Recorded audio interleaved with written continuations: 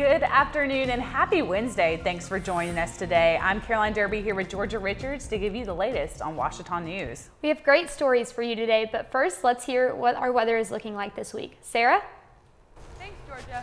Welcome, Ouachita Weather Watchers. This week is starting to feel like spring is here. Today we have a high of 70 and a low of 50. Tomorrow we will have a high of 72 with a low of 30 and a 100% chance of precipitation. Friday, the sun will be back out with a high of 54 and a low of 25. The weekend is looking like you will want to get outside with highs in the 60s and sunny skies. Monday, the rain is back with 80% chance of precipitation and a high of 70 degrees and a low of 46. Tuesday will also once again be raining with a high of 72 and a low of 57. Spring is almost here. Predictions by AccuWeather. Back to y'all.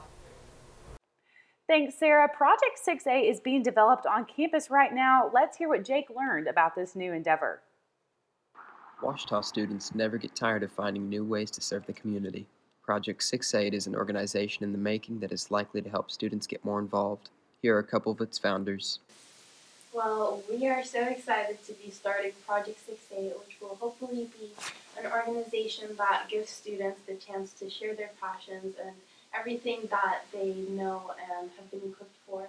We believe that students have such a great capacity to change our local community, but also this country, also this world. This opportunity will be a great way to participate in reaching out to the community.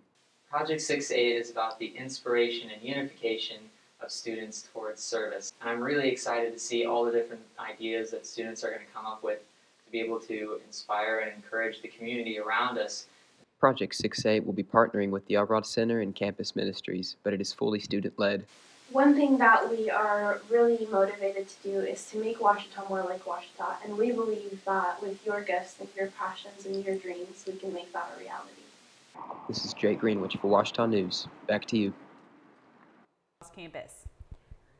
February is Black History Month and more. Multicultural organization Reaching Equality is organizing events throughout this month.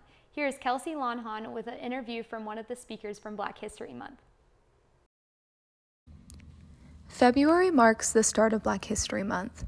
Along with a calendar full of Black History celebrations available for all students to attend, the Moore program invited OBU alumni Kendra Pruitt to share some words of wisdom with current students in an alumni spotlight event. I talked with her at the end of her visit and asked her a few questions, Here's what she had to say about the importance of observing Black History Month. I think the widespread celebration of Black History Month helps people understand the value of Black people, the contributions that they've made. She shared something we should be aware of. I think people need to know the struggle it took for Black history to even be acknowledged in our country. When asked what we at Ouachita can do to make people of color feel celebrated and loved, this is what she had to say. Elevating the voices of black people and their experiences, truly taking an introspective look at themselves about how they interact with blackness in general. So, not just black people, but black things, black businesses. And, and when you do that introspection, I hope it challenges you to um, do something different, be better. Even if you're doing great things as it is, I'm challenging yourself to do better. Attending these events like the Alumni Spotlight for Black History Month, these are not just for black students to attend because we can talk all day about our experiences, but do our experiences get better if those who are also here aren't listening and hearing our experiences as well? This month not only gives us an opportunity to further our understanding of Black history, it also encourages us to research beyond stories of racism and slavery to admire Black achievement. As Kendra said in her call to action, attending Black History Month events is important for all students to further their knowledge and relationships on campus. Check out the Black History Month calendar for upcoming events. This is Kelsey Lahan with the Ouachita News. Be sure to go to the other events on campus this month, including a talent show, a panel discussion, and Friday at Dr. Jack's put on by Moore. Next up is This Week at Ouachita. A few other events are happening on campus this week, including the production of Tanglewood, shown in Verser Theater February 16th through February 20th. This is an arts engagement event, so be sure to go see this fabulous production directed by Sammy Campione. Refuge is this Thursday at 9 p.m. at Second Baptist Church in Arkadelphia. Make sure to go worship the Lord with your peers this Thursday night. This Friday at 12:15, the International Club will be performing at Dr. Jack's Coffee House.